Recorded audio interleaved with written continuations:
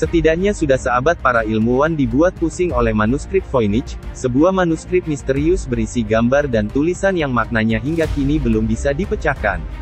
Baru-baru ini para ilmuwan Amerika berhasil menentukan bahwa manuskrip itu dibuat pada abad ke-15.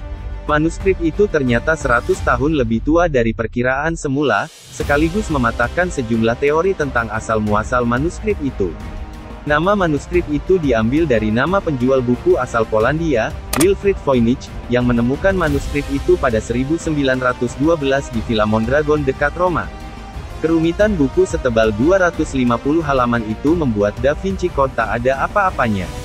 Buku itu ditulis tangan. Ada 250.000 karakter asing di dalamnya.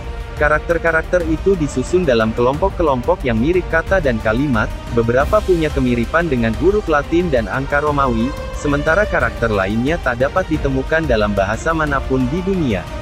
Selain itu, tulisan tangan yang membingungkan itu dikelilingi ilustrasi-ilustrasi rumit.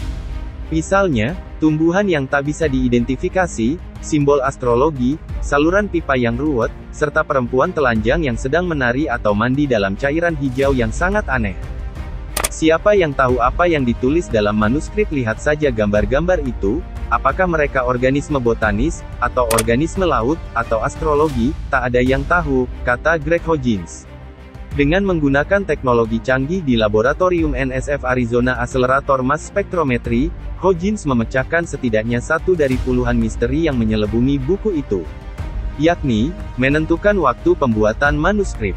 Untuk menentukan usia manuskrip yang disimpan di Beinecke Book and Manuscript Library di Yale University itu, dia memakai teknologi carbon dating dan menggunakan empat sampel berukuran seper 16 inci yang diambil dari empat halaman berbeda.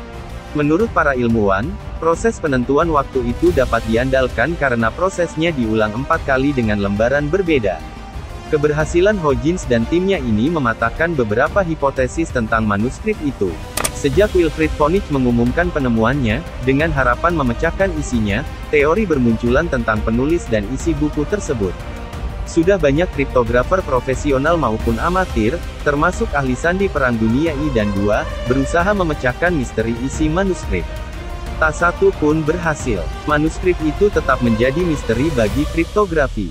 Vonich mengklaim bahwa pemilik buku itu adalah Raja Rudolf dari dinasti Habsburg, Jerman, pada abad ke-16, dan bahwa penulisnya adalah Roger Bacon, seorang pendeta Inggris yang juga ilmuwan pada abad ke-13.